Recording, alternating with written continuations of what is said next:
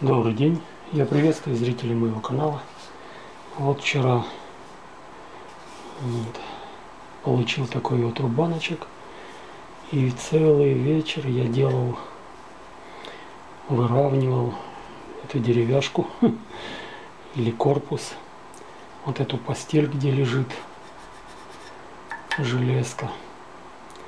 Вот, хорошо, что купил перед этим хорошие стамески и они просто брили. Я вот натирал карандашом поверхность, вставлял, смотрел, где отметины, где мешает, и выбривал это все. Получилось замечательно. Вот. Корпус немножко подрахтовал. В общем, теперь он уже работоспособный. Сейчас вот хочу вам показать. Вот, как он строгает пока еще непривычно, нам уже потихонечку здесь поверхность неровная после пилы ленточной, поэтому он сразу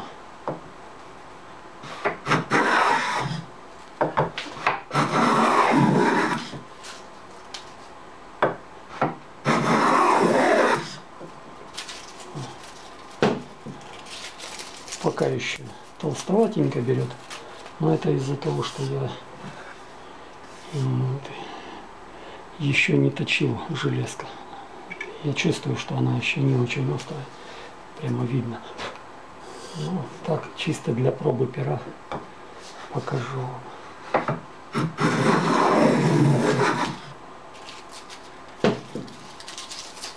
Ну, что могу сказать.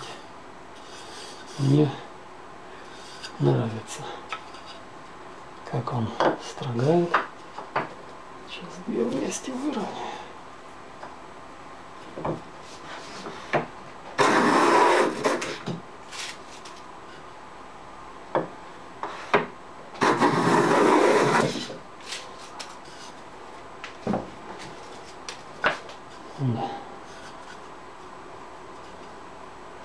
Поверхность ровно, идеально. Удобно брать угол 90. Видите, как вот я прострогал. Они не отходят плотненько, значит здесь четко 90 градусов. Сейчас с этой стороны пойдем.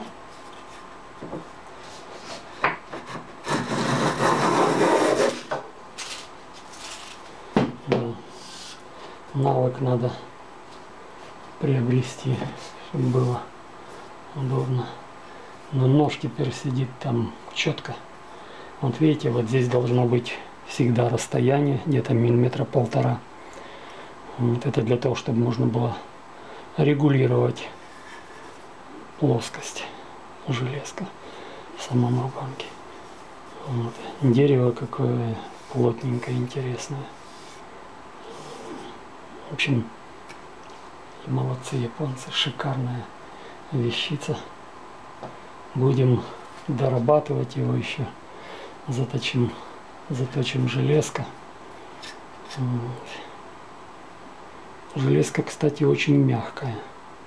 Я пытался вот таким вот маленьким молоточком и понял, что не стоит. Вот видите, один раз пристукнул, идет наклеп. То есть железка мягкая. Значит, надо либо медный молоток, либо латунный, что-нибудь помягче. Вот. Ну, я его настраивал резиновым, потом немножко плохо, не чувствуется вот этого удара. Надо резко так тук, и оно меняется от резинового плохо. Да.